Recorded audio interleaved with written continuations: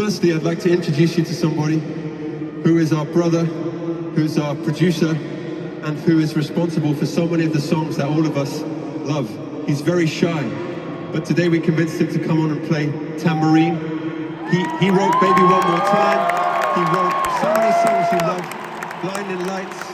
This is the one, the only, our brother from another mother, Mr. Max Martin from Sweden. Now, now bearing in mind that he's written Roar and Teenage Dream and uh, Domino and uh, all the Weeknd stuff and uh, uh, what's it called? We're Never Getting Back Together and Shake It Off. He's been involved in all these songs we've lived to for so long. Let's once again please welcome properly in the London manner from Sweden, Mr. Max Martin. That's it. That's what I'm talking about.